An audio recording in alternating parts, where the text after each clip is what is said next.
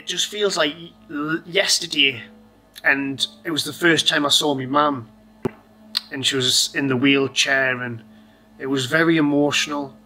Um, seeing my dad, my brother, I met for the first time in in adult because it was I was very young and didn't really know them. Me, me extended family, my dad's uh, first son and daughter from the previous marriage.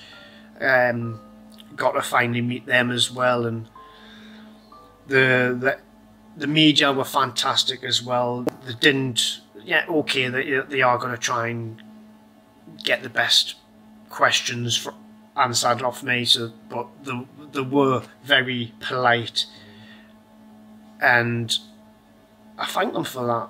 And hearing people tell me, Nick, I was at the airport I saw you and I, I broke down in tears because it was so happy.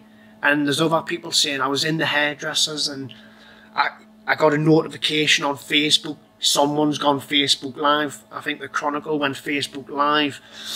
And there's people telling me they're just stopping work and stopping what they're doing to watch me come home. And they were waiting ages for me to come. And they were like, come on, man, come on, hurry up you know, and it just goes to show the uh, amazing support that I had, and this support grew and grew over the four years thanks to my sister.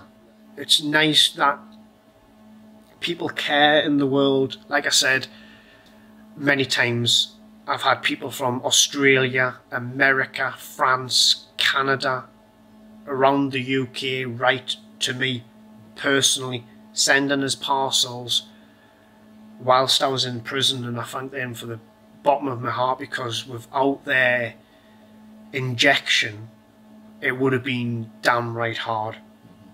It would have been unimaginable how I would have to have gone through mental boundaries, and I went through so many mental boundaries as it was. But imagine like there was no media, and I, I respect where other families didn't want to do media. I, I fully understand, but this was a massive international miscarriage of justice. You can't just let things like this lie. You've got to show, especially when you're dealing with a so-called friend of the UK, India. This should never have happened. But it did and it was continued to escalate over the space of four years. And people might go, well, it's only four years. I'm like, yeah, but it's four years I'm never going to get back. And I was innocent. I couldn't care if I was guilty. People going out with the lockdowns, staying in for one year. Yeah, and that's like relatively good. I know it's like, it's difficult to compare different types of pain, but you know, you can see how people going crazy mentally, having problems now, struggling. Yeah, lockdown's been lockdown's been really hard for a lot of people out there. I June not June late last year, I was trying my best. I wasn't going too over the top. Like I say, I, I still had a job to do. I worked. I've worked all the way through, and you know, you're not being selfish, but you need to look after yourself mm-hmm. and I'm a nice natured guy and I'm always I would I, am not saying I'll go out my own way to help others but I will help others given what is on offer. You know if it makes me feel happy that I've helped others from feeling down in the dumps to feeling more positive then I'll take that in a humble way and hopefully my experience yes, okay, I was in prison, but a lot of people are thinking their home was a prison. Well, it's not. It's far from a prison. It's safe. It's a it's a haven. You've got everything at your disposal. You can watch Netflix till your eyes bleed, and most of the stuff on there does make your eyes bleed because it's crap. But I I did do something similar. I did an extreme lockdown, and it's not. It's not knowing when the end is. That's the big problem as well, isn't it? Well, this if is the same. Say, they said to you, you've got four years, bang, and that's it. and you know at least it's easier to come to terms with. But Yes. if you don't know this, you don't know how long it's going to be. And we've not known how long it was going to be, and now, now we're over f- 15 months or so, and yes, things is getting easier and better. My heart goes out to all the families who have lost um, loved ones. Obviously, I've got my own views on the whole thing, but I, you know, each to their own. Um, but it has been a, a very hard experience for a lot of people. Yes, I've dealt with it in my own way. It it has affected me. I've not realised it till I had a a personal meltdown which happened in March where mental health's a big thing.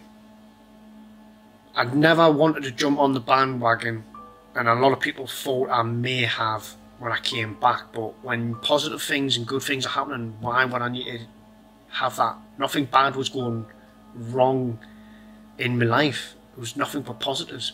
But when I'm in a different mindset where I'm relaxed, I'm you could say vulnerable, but without knowing it. And I've now realised I was obviously vulnerable. And the demons came. Unfortunately. And you relive the experiences from the four years. The Um some somewhat. A little bit, yes. Because in that time of my life I was in a, a fight survival mode. But being home with my family, getting on with my life. I'm a time of peace. And in time of peace you can be a bit vulnerable. And I felt ashamed. I wanted to take my own life. I've never felt that way so in much detail.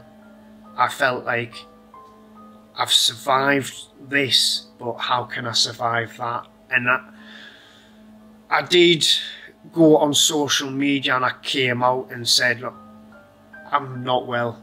I'm, I'm, I'm I fell off the planet. I'm, I'm needing help, and I felt ashamed. I felt that this, why has this happened to me? Like, and I don't feel ashamed now. I've got pride. My pride's been dented. But you've got to do what's right for you mentally, and I've taken the help, and I'm going through talking therapy, and I'm in constant uh, talk meetings with Walking with the Wounded. They've been a fantastic help for me.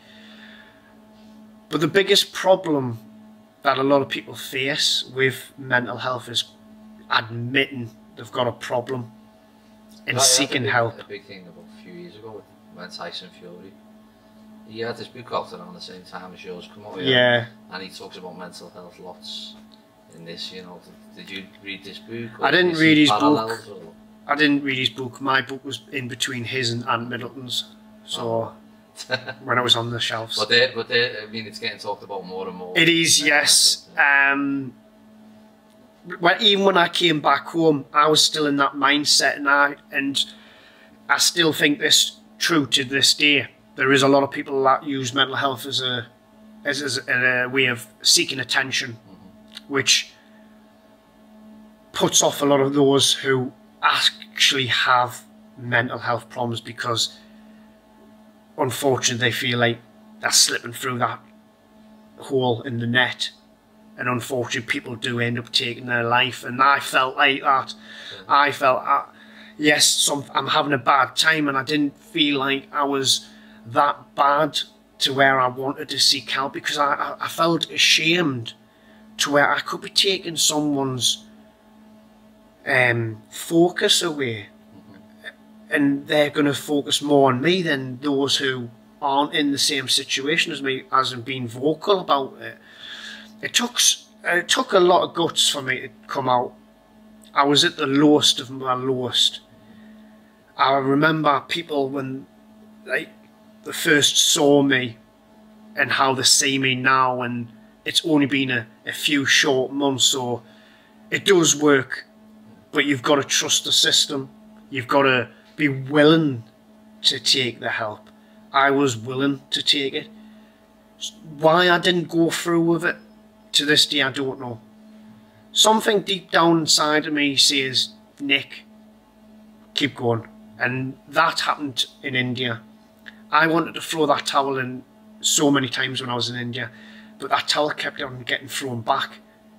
And I was like, I can't cry to mummy. I've got no one to cry on their shoulder to. Oh, this is me. And I've got letters to get the positivity sucked out of them to get me day by day. And I just going through mental health that I am going through now I feel better for it. It's a long road. Yes, there's going to be bumps. I did have a, a couple of days recently where I just felt absolutely crap. Not suicidal, but I just didn't want to be here. I know that sounds strange, but I wasn't thinking suicidal thoughts. I was just, I can't be bothered anymore. I don't want to be here. And I know that sounds somewhat contradicting, but that's that's how I felt and that's the you know how I'm dealing with it. I'm I'm I'm taking advice from those who deal with the mental health. I'm going to do my talking therapy, whether I be in person due to work or doing it via Zoom. I'm getting a lot from it. At the beginning, it was a, a bit mm, mm, not what I expected. I expected to be laid on this big chair and someone with a clipboard going, yeah, tell me, blah, blah, like you see in the films and stuff like that. Totally, totally different. Basically, chair, sat there with masks on and going through it. And a lot of it, when you, you take the paperwork away from you, a lot of it is like kiddie stuff. But it's a way of digesting it better. Yeah, yeah. If you put complicated things in on a piece of paper, you're going to just skip that because you might not know what that word means and you might have to Google because some people like to use big words and fancy terminology and stuff like that. Keep it simple, stupid, and everyone will sing off the same song sheet. And just reading this stuff has really helped me. And it's going to be a, one of those roads where it'll end when it ends. But I'm willing you've got to be willing to take the help. And my advice to anyone, if you're having a down day and people like your friends and family are saying there's something wrong with you, don't bite the head off. I, I was quite fortunate. I knew there was something. I knew the cracks were starting to show. And it just took that one time where it felt like an earthquake just split my world apart. And now I'm gradually healing myself and it's going to take time. Do the same. Seek help. There were so many phone numbers, different organisations. Take the help, whether you're military or not. Yeah, take it because it's not to be ashamed about. You don't. You may feel like that, like I did, but you've got to do what's right for you.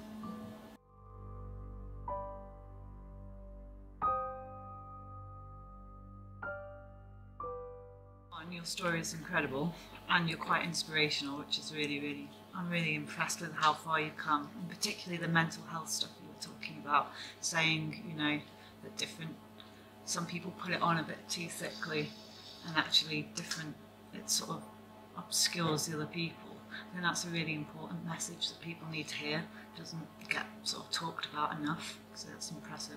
Well, that's how I've, like, see me coming home from India to how I think now, i am two di different people because I'm I was still in that fighting mode, survival mode, and I was still thinking. And mental health was not talked about then. It was just coming to light, really. And obviously, when I'm in India, you don't hear a lot of what's happening around the world. anyone who's been India, it's so India, India, India, India, India. And for me coming home, I was just seeing so many people go on about mental health, this, mental health, that, and I was like, and I can now talk about mental health after me experiencing it and now dealing with it now, but back in 2017, early 2018, I was like, why, why, why is everyone, you know, feel that that, that going on about mental health? Why is everyone all weak and stuff like that, pissy weak? And that was my attitude at the time. But as the years have gone by and actually what's happened to myself, my views have changed. And I understand. But what I won't tolerate is people using it as an excuse. Because those who desperately need it feel like then then the system's failing them. Because in any situation, he who screams loudest gets heard. If you go to say a massive road traffic accident and you got people screaming you're going to go, yeah, instincts is to go to those and you forget about those quiet. The reason why they're quiet is because they're probably knocked out or they've got something lodged in their mouth. They're the priority. The people who are suffering in silence. That's why the message we all keep saying is do not suffer in silence.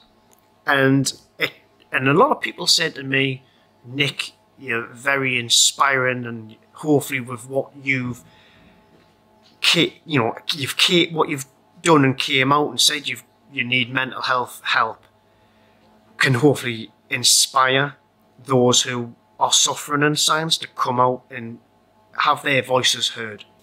And I will continue to say that.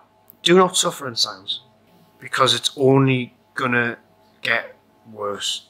For those who have social media Facebook, Instagram, Twitter, I have shared pictures of prison life.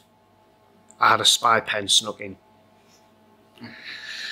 They are legitimate. They're not off the internet. They are mine and mine that I've taken with me own. But the prison life was so basic. Yeah, big cell, cramped cell the first time, shared with three other people, hole in the floor as a toilet, using a bucket to wash in, to wash your clothes, to flush your feces away for if you've been in the toilet.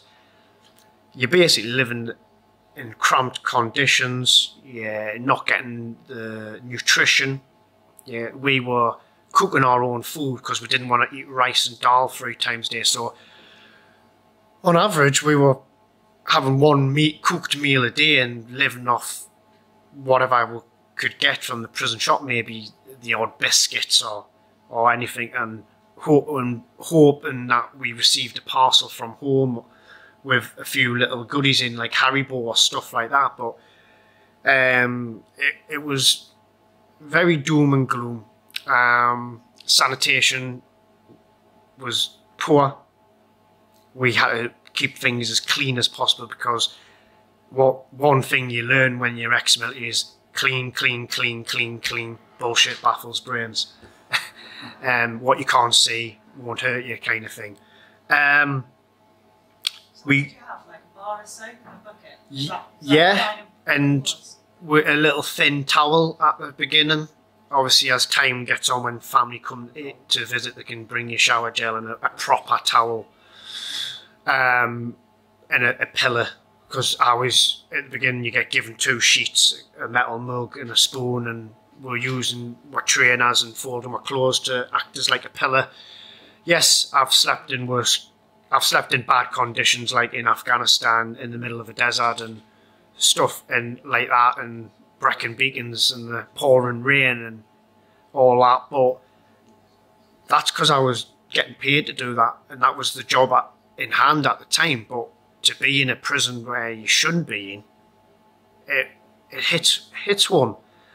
The stuff we take for granted, I appreciate more than life nearly nowadays. I really appreciate because you didn't you don't think that what we've got were creature comforts we call them like bed and all that. You're never going to think, well, I'm not I'm not going to not sleep in a bed, you know, but to sleep on the slate floor, aching pain, you're losing weight quicker than what you would normally do. Yes, eventually we did get little thin mattresses, whatnot, with the help of the British government, but damage had been done. They were, in the heat, they just kind of shrunk even more. So there were, is, well, Nelly is used, much as use as a chocolate fire guard, you know, tits on a fish, whatever you want to call it. Pointless, but they did help that little bit. But the day to day, like, would wake up, would have one of the Indians that used to pay him in the odd fruit, bidis, whatnot, which is like the prison cigarette. Um, he would go and fill our flasks up, which were got via family, fill that with hot water, so we could have coffee, whatnot, in the mornings um, two boiled eggs, chapatis, so we're able to get porridge in. Um, vegetables that we got would be potatoes, onions, tomatoes, green beans, cabbage. Um, we didn't get chicken at the beginning, but only on a Sunday, and then we need meat in our diet. We're not like Indians who are predominantly mainly vegetarian or at least eat meat once a week or something. So we eat meat practically nearly every day, um, unless you're obviously vegan or vegetarian. Um, but you're getting one meal a day. It's not enough. And plus, you're in a different country, health deteriorates, the heat. You, yeah, there was mosquitoes, yes, dodgy looking spiders, snakes. And you mentioned when we chatted before a bit about the morale of the group. So there was 23 of you. There was 23 of us, yeah. With three other people. Now, At the beginning, yeah. did that bring you closer together? Did you bond over this, or did you find conflict, or you know, do you are you still in touch with these people now? Like, Yeah. Yeah, um, we'll come from different walks of life, different nationalities, different, you know, ways how we deal with things in life. Um, at the beginning, I shared a cell with one of the Estonians, um, the an English guy and a Scottish guy, and we had a bit of a laugh, sharing stories from military and just life and you've got to try and take your mind off the doom and gloom and we played um, cards if we got them snuck in or battleships. You know tr- just trying to pass the time. Um, as we after we got convicted and we're all in one big cell so we're 23 we're all on big one cell kind of cramped up tensions do arise, family problems happen, people can get annoyed with each other. Um, it's going to happen. It's going to happen. Um, I'm, I've said this a few times and I'm true to my word. You could have put two of lifelong best friends in my situation. They'd probably hate each other's guts right now. That, but they might later in life come to terms. Some people build relationship bonds. Um, I still speak to a few people, but we're all thrown in together. You know, times change. We want to be with our family. We've all hurted at some stage in the four years. I know I can only talk personally about mine, but I've witnessed other people going through hurt, and it's not nice. Um, you don't know what to to kind of say, but you just try your best to to pick people up, but you give them the space as well because their situ. If it happened in a normal day to day life, yes, it's still hurtful. But when you're dealing with a, a legal situation and you're thrown in a prison and having to go through the heartache of, say, potentially losing family members. I lost my auntie when I was in prison. I had to deal with my mum having a double aneurysm when I was in prison. Other guys going through their problems. It's not nice. It's it's very very hard and to carry on and not give in. You, you, you, never know what you're capable of till you're faced with a situation where you have to go beyond and beyond and beyond to survive. And I think we all went through a lot of pain, but we all went through different challenges and we've we've overcame it. I wish everyone the best of uh, health and luck to the future. My door's always open. I'm easy reached. I've got no bad blood with anyone. Yes, I'm not going to lie. I had some discrepancies and you know fallouts with a few, but you know that happens in life. But I'm not going to say I hate any of them. No, definitely not. I think the word survival there. I think that sort of sums up your whole story to me. You've been through, you know, hell and back essentially. You've experienced things that most people will never get to or have to experience. And I think, yeah, the survival aspect is, is incredible. Um, we've all got a survival instinct built in our DNA. You just never know when you have to call upon it. And you can't just go, yeah, I need your help now. It happens within at that time when you need to survive. And like I said many times, I wanted to throw the towel in so much, but something deep inside of me, and even to this day, going through my mental health, why didn't I go and take my own life? What stopped me? Was I that mentally exhausted I couldn't be bothered?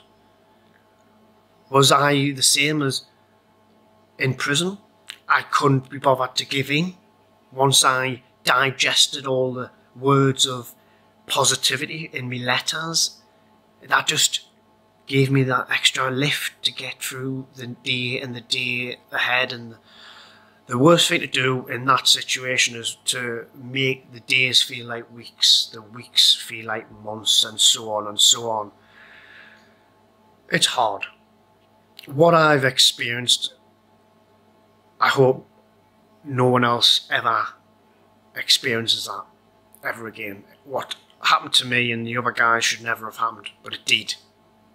You can't re- live in regret and and I've got nothing to re- be in regret about and be angry or yeah.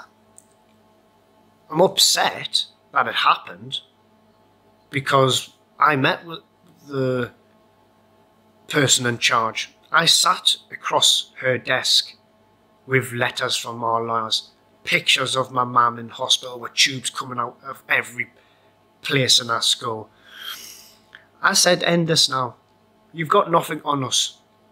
And she looked at me and said, let the courts decide. I said, well, make sure your prosecutor turns up this time. So we were dealing with people who made it personal. Well, they did to me. They could have walked away and nothing would have been said. We would have been on that plane in seconds and gone. And I, I w- wouldn't be doing all this. I probably wouldn't. I probably would have gone back to doing the job or something different, but it didn't. And that's when I felt you've made it personal. And I'm going to take you to hell. Considering what you've been through, you seem very in control, very level headed, very sort of unbiased, which is quite remarkable. I guess, the, can you explain what it feels like to have the control taken away in, in the way that Um, we are all in control of our lives, and most people will never experience it being taken away unless obviously you end up in prison. But even in a UK prison to how I was in prison in India is worlds apart. We take our freedom for granted. And a lot of people within the past year have realised what freedom really means. And if they haven't, I think they need to educate themselves because I certainly know what freedom means. I had that taken away, and I was thrown in innocently and wrongly in prison for a crime I didn't commit. And it brings you back down to reality on what you think life is all about. Family. Maybe you've had some family feuds in the past. Now is the time to let bygones be bygones because you only get one family. You only get one mum, one dad, or say again, you do get other stepping dads, but they're not your biological father. You've got to go beyond, not let hatred control you. You've got to be a bit level headed. You've got to see two sides of the story. I know that sounds funny because I, I look at their side of the story and it's all made believe. They've made it. They made a mountain out of molehill, and they made us scapegoats for the Italian Marines' wrongdoing, and they made an example of us. And they weren't shy about saying that. When you've got the Indian Navy's admiral to the media saying, "We've got them," and we're sat in a prison reading this newspaper, and we're like, "You've got who exactly?"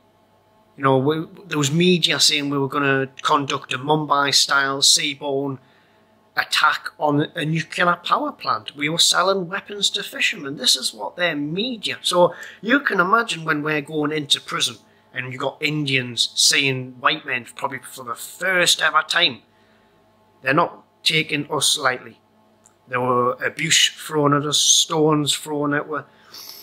I remember just being told by my embassy about what happened to my mum and I had to walk nearly a mile from the jailer's office to my compound and I was battling the red mist of fury.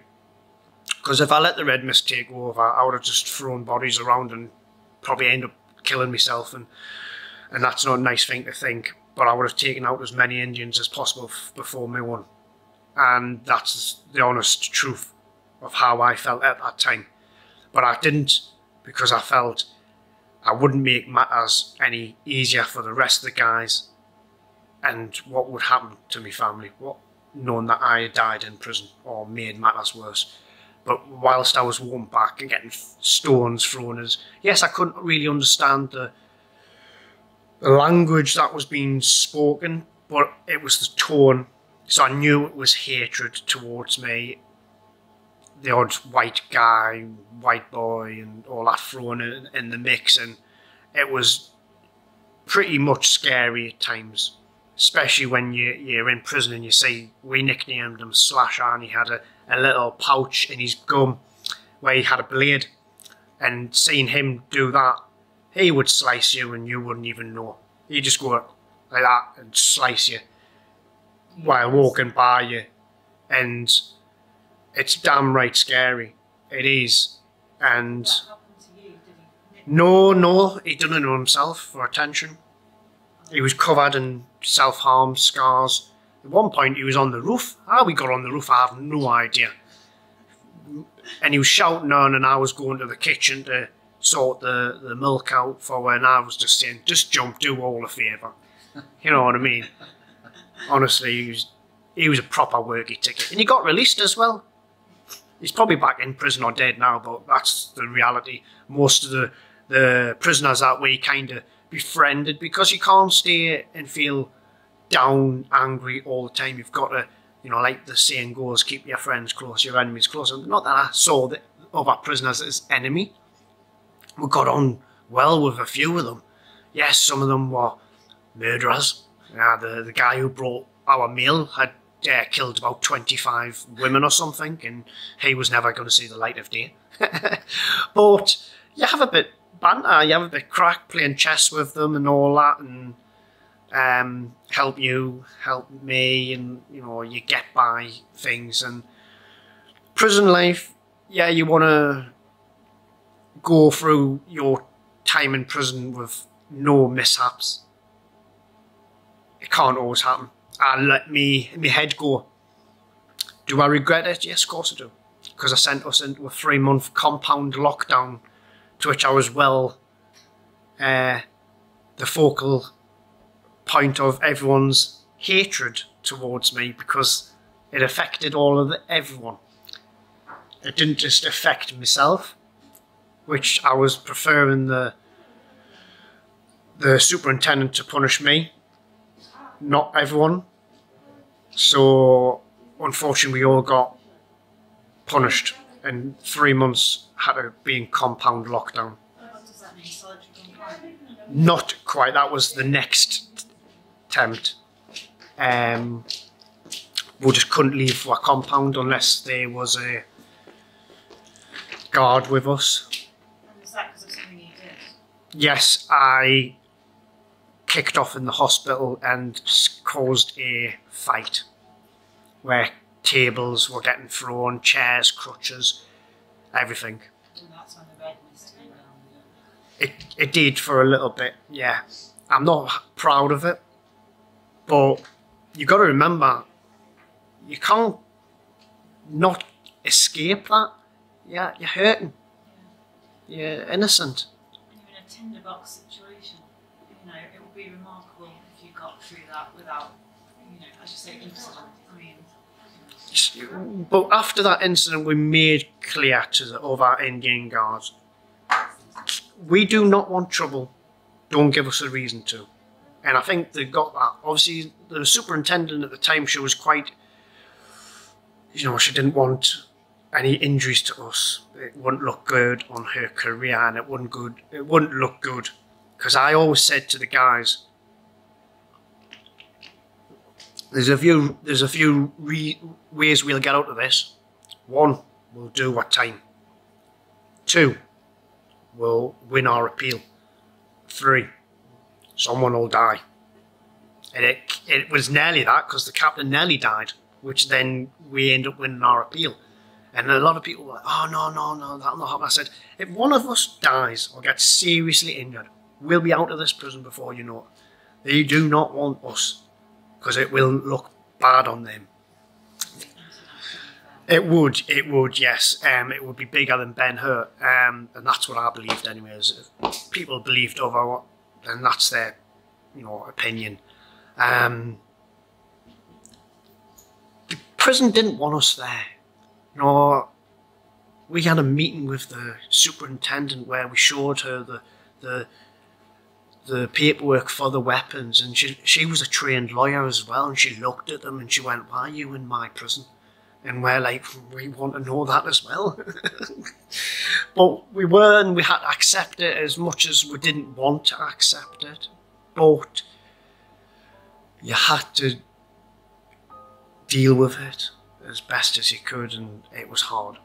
And I'm not going to lie, that it's hard. No problem.